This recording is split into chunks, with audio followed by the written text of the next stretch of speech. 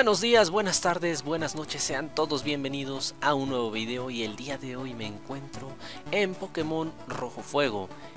Vamos a atravesar el día de hoy el túnel roca y para esto nos encontramos en la cueva de los Diglets. Esto por una sencilla razón, necesitamos hablar con una persona que se encuentra por aquí para poder obtener el ataque de Flash y poder atravesar el túnel roca que está demasiado oscuro. Esto se consigue hablando con esa persona cuando ya tienes una cierta cantidad de Pokémon visitada. Realmente no es tanto problema, me parece que te pedía como 20 y a este punto sí ya tienes bastantes, bastantes Pokémon. De hecho, si ustedes utilizaran la piedra lunar, tendrían más Pokémon de los que yo tengo en este preciso momento, que tengo 46.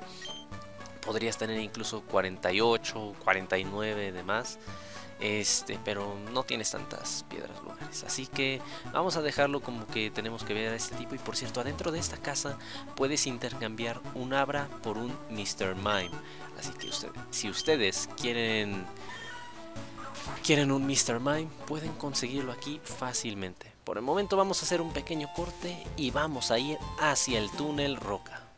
Muy bien, hemos llegado hasta la ruta 10 donde se encuentra el túnel roca. En esta zona de aquí, en la parte de arriba, puedes encontrarte Voltorbs por si te llegara a interesar. Y pues realmente no hay muchas cosas relevantes poco antes, solamente unas cuantas vallas y demás. Pero lo que quería ahora era mostrarles esto.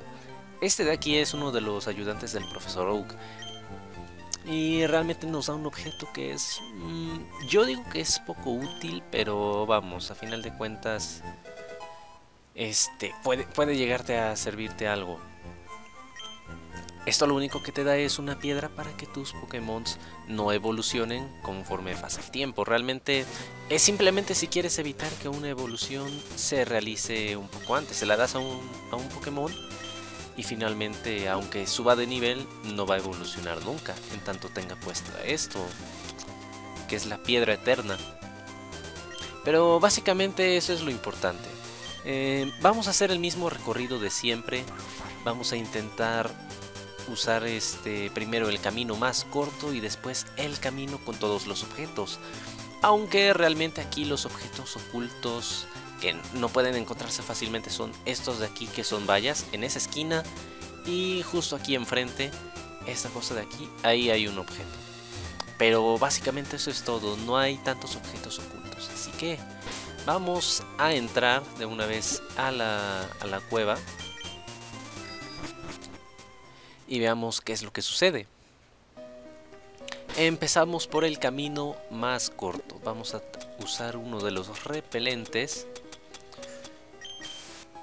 y veamos, si no me equivoco ocuparemos aquí bastantes más. Como pueden ver la pantalla de por sí se ve muy pero muy oscura, no hay prácticamente iluminación. Pero para esto le hemos enseñado ya el ataque de Flash a uno de nuestros Pokémon. El recorrido rápido es sencillo, simplemente tienes que bajar, te metes a estas escaleras, vamos a volver a bajar porque aquí hay una especie de puente bueno, no un puente, una parte ahí estrecha, no sé cómo se le llamará, una parte más estrecha que otra, pero no quiero que me albureen en los comentarios. Vamos a subir hacia acá, tenemos que subir... No importa si vamos hacia la derecha o hacia la izquierda porque recorremos lo mismo, pero si quieres enfrentarte a más enemigos simplemente tienes que ir por ahí. Este, hacemos este pequeño recorrido como en U, y posteriormente solamente bajamos, ya se acabó otro de los repelentes y continuamos en esta dirección. Realmente el camino no es, no es tan complicado, como pueden ver ya llegamos aquí a lo que es la salida hacia Pueblo Lavanda, pasando este túnel ya ya estamos fuera. Sin embargo, aquí lo complicado es el hecho de que hay muchos entrenadores, casi todos con Pokémon de niveles aproximadamente entre el 20 y el 25.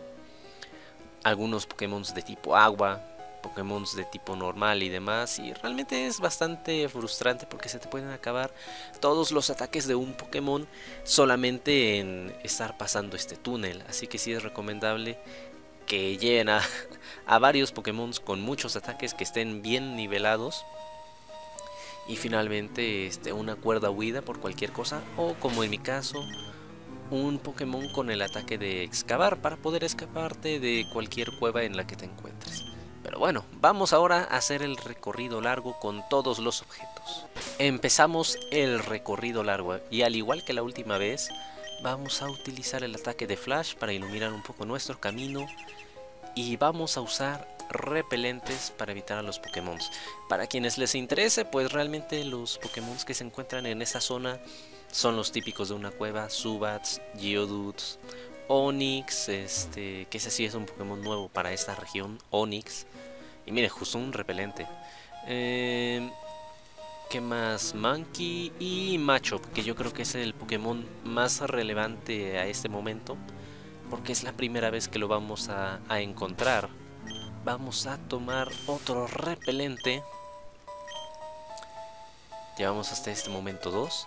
Encontramos un objeto para revivir a nuestros Pokémon. A lo mejor y en esa zona se te dificulta un poco porque hay muchos entrenadores. Así que no está mal todo esto. No hay ningún objeto en las rocas, ya las revisé. Y finalmente... Mmm, olvidé lo que les estaba diciendo. Oh, cierto. Onix y lo que son... Este... Ah, se me fue... Machop son los Pokémon novedosos de aquí una cuerda huida. De hecho te ponen todo lo, que vas a necesitar si es que estás mal nivelado. Mm, me parece que aquí hay una entrada. No, mentira, la entrada era esta. De acuerdo. Omitamos que, omitamos que olvidé usar el repelente. Vamos a tomar esto.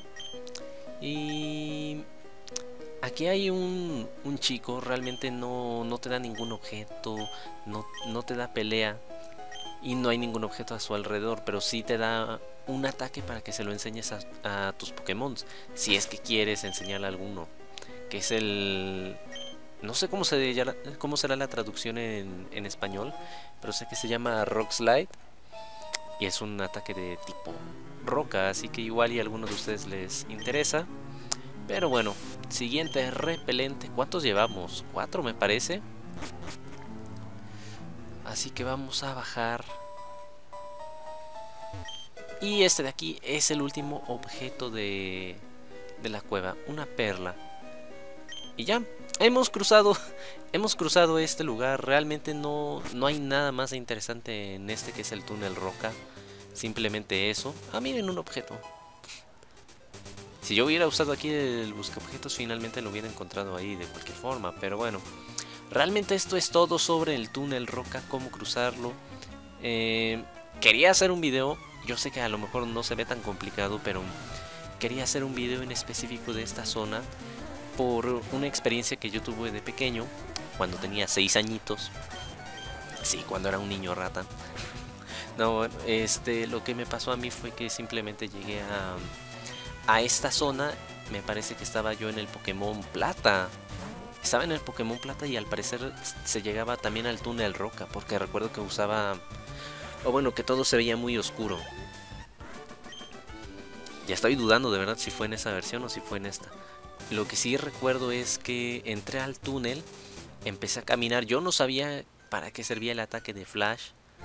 Hasta que finalmente este, me metí, caminé y no, no encontré la salida.